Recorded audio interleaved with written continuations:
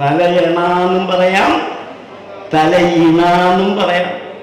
തലയണയ്ക്കുന്ന സ്ഥലം തല ചേർക്കുന്നത് തലയണ. തലയ്ക്കുള്ള ഒരു എണ ആ അർത്ഥത്തിൽ ഏതുവായാലും ശരിയാ.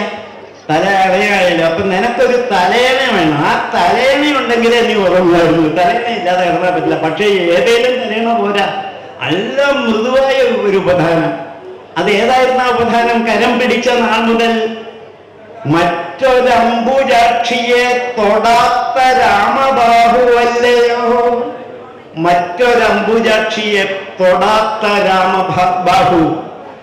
രാമന്റെ കയ്യൻ മറ്റൊരു സ്ത്രീയെ തൊട്ടിട്ടില്ല സ്പർശിച്ചിട്ടില്ല പരസ്ത്രീ പരസ്ത്രീ സ്പർശമേറ്റിട്ടില്ല ആ കൈ രാമൻ അഭിമാനത്തോടെ തന്റെ അടുത്തോടെ പറയാൻ പറ്റും വേറൊരു സ്ത്രീയെ സ്പർശിച്ചിട്ടില്ല ഈ കൈ കൊണ്ട്.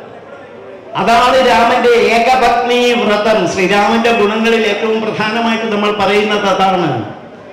പഴയ കാലത്തെ രാജാക്കന്മാർക്ക് എത്രയോ ഭാര്യമാരാകാം നമ്മൾ നമ്മുടെ ശ്രീകൃഷ്ണനെ പറ്റി എന്തെല്ലാം പറയുന്നതിൽ പതിനാറായിരത്തി എട്ട് ഭാര്യമാരെന്നൊക്കെ പറഞ്ഞ് നമ്മൾ തന്നെ കളിയാക്കാറില്ലേ? അതിന്റെയൊക്കെ പൊരുളിലേക്ക് ഞാൻ പോകുന്നില്ല. പക്ഷെ രാമൻ അതിന് നേർവിപരീതമാണ് മറ്റൊരംബുജാക്ഷിയെ തൊടാത്ത രാമബാഹു. പരസ്ത്രീയെ സ്പർശിച്ചിട്ടില്ലാത്ത ആ രാമന്റെ കയ്യ് അതങ്ങനെ നേർത്തു വെച്ചു കൊടുക്കും രാമൻ. അവിടെ തല വെച്ച് സീത കിടക്കും. ആ മൃദുവായ തലയിനുണ്ടെങ്കിലേ ദേവിക്ക് ഉറക്കം വരികയുള്ളൂ. എന്ന് നീ എങ്ങനെ ഉറങ്ങും ദേവി? ആ തലയിണ നിനക്കില്ലല്ലോ. കൊട്ടാരത്തിലായിരുന്നപ്പോ ഞാൻ ആ തലയിണ തന്ന് നിന്നെ ഉറക്കി. കാട്ടിലായിരുന്നപ്പോഴും ഞാൻ ആ തലയിണ തന്നു. ഇന്ന് നീ എങ്ങനെ ഉറങ്ങും ദേവി? എന്ന് ചിന്തിക്കുന്ന ശ്രീ- ശ്രീരാമചന്ദ്രൻ സീതയെ ഉപേക്ഷിച്ചു എന്ന് നിങ്ങൾ പറയുന്നുവെങ്കിൽ നിങ്ങളുടെ കേട. ഹൃദയത്തിൽ പൂജിക്കുകയാണ് ഇപ്പോഴും. അങ്ങനാണെങ്കിൽ അങ്ങനെ ഹൃദയത്തിൽ പൂജിക്കുകയാണെങ്കിൽ വീട്ടിൽ ഇരുത്തി അങ്ങ് പൂജിച്ച പോരായിരുന്നോ പോരാ. രാമനിലെ ഏറ്റവും പ്രധാന വ്യക്തിത്വം ഏതായിരുന്നു? അയോധ്യയിലെ ഭരണാധികാരി പ്രജാഹിത തൽപരനായ രാജാവ്. നമ്മുടെ ആധുനിക രാഷ്ട്രത്തിന്റെ ശില്പി രാഷ്ട്രത്തിന്റെ പിതാവായ രാഷ്ട്രപിതാവായ ഗാന്ധിജി പോലും പറഞ്ഞത് നമ്മുടെ രാജ്യം രാമരാജ്യമായി മാറണമെന്നാണ്. ആ രാമനാണ് ഏറ്റവും നല്ല ഭരണാധികാരി. പ്രജകൾക്ക് വേണ്ടിയാണ് നാട് ഭരിച്ചത്. എങ്ങനെ നാട് ഭരിക്കണമെന്ന് കാട്ടിത്തന്നയാളാണ് ശ്രീരാമചന്ദ്രൻ. ആ ശ്രീരാമചന്ദ്രൻ പ്രജാഹിതമാണ് ആദ്യം പരിപാലിക്കേണ്ടത്. നമ്മുടെ ഇന്നത്തെ ഭരണാധികാരികളൊക്കെ ആരുടെ ഹിതമാണ് നോക്കുന്നതെന്ന് നിങ്ങൾ ഇപ്പം മനസ്സിലെങ്കിലും ഒന്ന് കരുതുക. ഞാൻ രാഷ്ട്രീയം പറയുന്നില്ല വേദിയിൽ ആലോചിച്ച് നോക്കൂ പ്രജകൾക്ക് വേണ്ടിയാണോ അവർ ഭരിക്കുന്നത്? തന്നെയല്ല രാമായണത്തിൽ നമ്മൾ കാണുന്നില്ലേ? ഈ ഫുട്ബോൾ ഇട്ട് തട്ടുന്ന പോലെ അങ്ങോട്ട് ഇട്ടിട്ട് ഇങ്ങോട്ട് തട്ടുന്നില്ലേ? എന്തെന്ന് തട്ടുന്നു? ഭരണാധികാരം.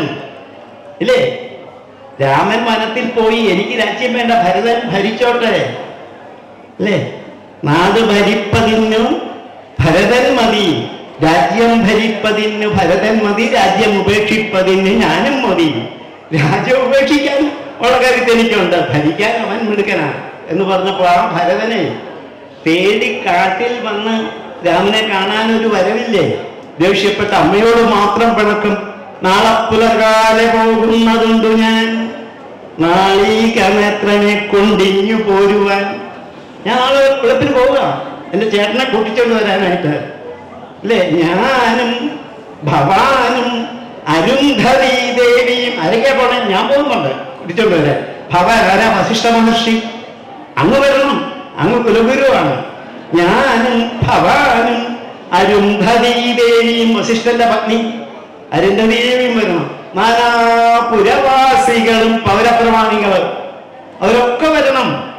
ഞാനും ഭവാനും അരുന്ധതി ദേവിയും നാനാപുരവാസികളും അമാത്യരും സുമന്ത്രരും മുതലായ മന്ത്രിശ്രേഷ്ഠന്മാര്. പക്ഷെ പിന്നത്തെ മാത്രം ഒരു നെഗറ്റീവ് അല്ലേ? സാദരം ആശു കൈകേകിയൊഴിഞ്ഞുള്ള മാതൃജനങ്ങളുമായിട്ട് പോകണം. അവരെ കൊണ്ടുപോകില്ല.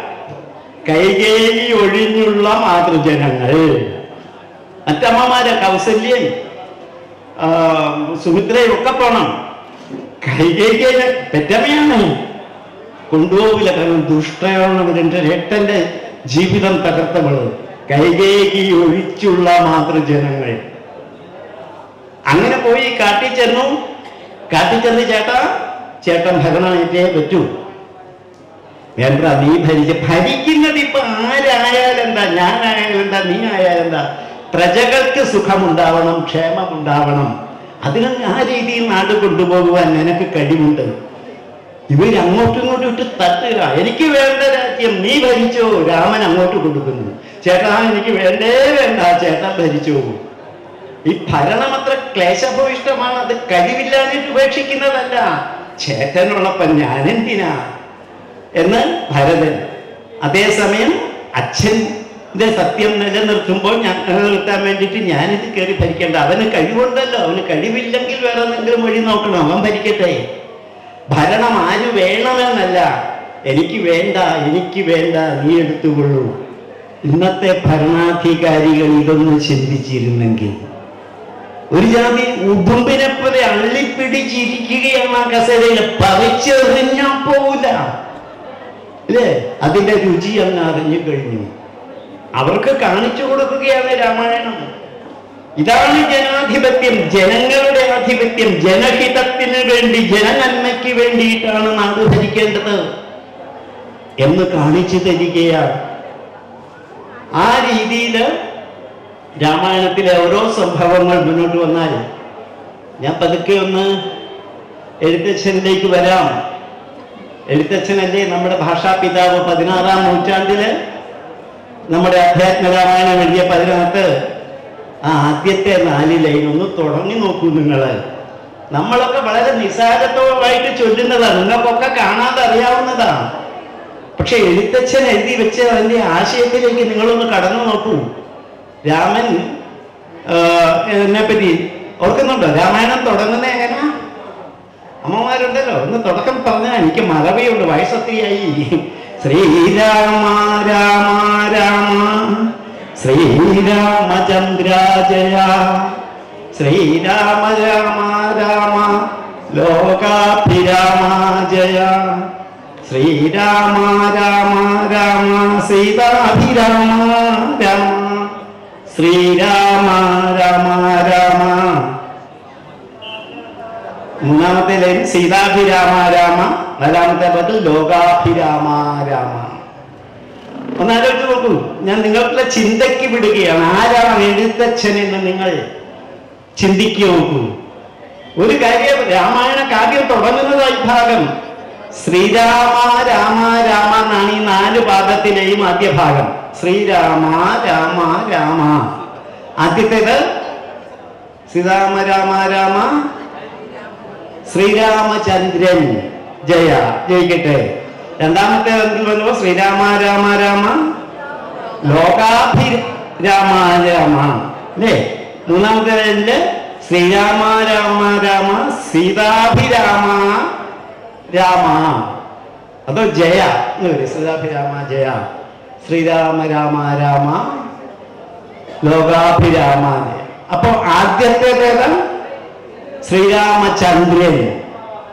ഒന്നാമത്തെ ലൈന് ശ്രീരാമ രാമ രാമ ശ്രീരാമചന്ദ്ര ജയ ആ രണ്ടാമത്തേത് ശ്രീരാമ രാമ രാമ ശ്രീരാമ ഭദ്ര ജയ മൂന്നാമത്തെ ലൈനിൽ സീതാഭിരാമ ജയ നാലാമത്തെ ലൈനിൽ ലോകാഭിരാമ ജയ നോക്കൂ ഓരോ ഘട്ടത്തിലും രാമൻ ശ്രീരാമചന്ദ്രനായിരുന്നു ഒന്നാം ഘട്ടത്തിൽ. എഴുത്തച്ഛനെ ശ്രീരാമചന്ദ്രൻ ചന്ദ്രൻ. നമുക്കറിയാം ലോകത്തിന് മുഴുവൻ കുളിർമ നൽകുന്ന ഒരു ഗ്രഹമാണ്. ഇപ്പൊ നമ്മളവിടെ എത്തിയിട്ടുണ്ട്. നമ്മുടെ ഉപഗ്രഹം അത് വേറെ കാര്യം നമ്മുടെ ശാസ്ത്രത്തിന്റെ ശക്തി. ആ ചന്ദ്രനാണ് ശ്രീരാമൻ. ചന്ദ്രനെ പോലെ മനുഷ്യന് ശാന്തിയും സമാധാനവും ജീവിതത്തിൽ കുളിർമയും നൽകുന്നു. ശ്രീരാമ രാമ രാമ ശ്രീരാമചന്ദ്രാജയ ശ്രീരാമ രാമ രാമ. ലോകാഭിരാമ ജയ ലോകാഭിരാമൻ. അല്ലേ നമുക്കറിയാം വരരുചിയോട് വിക്രമാദിത്യൻ ചോദിച്ചിട്ട് അയാൾ തെണ്ടി നടന്നിട്ട് ഏതോ ദുർദേവതമാര് മാംവിദ്ധി അറിയാൻ വയ്യാത്ത വരരുചി എന്നൊക്കെ പരിഹസിച്ചിട്ട് രാമം ദശരഥം വിദ്ധി മാം വിദ്ധി ജനകാത്മജാവയോധ്യാമടവിം വിദ്ധി ഗശ്ച യഥാസുഖം. അതാണ് ഏറ്റവും പ്രധാനപ്പെട്ട ശ്ലോകം. ആയിക്കോട്ടെ.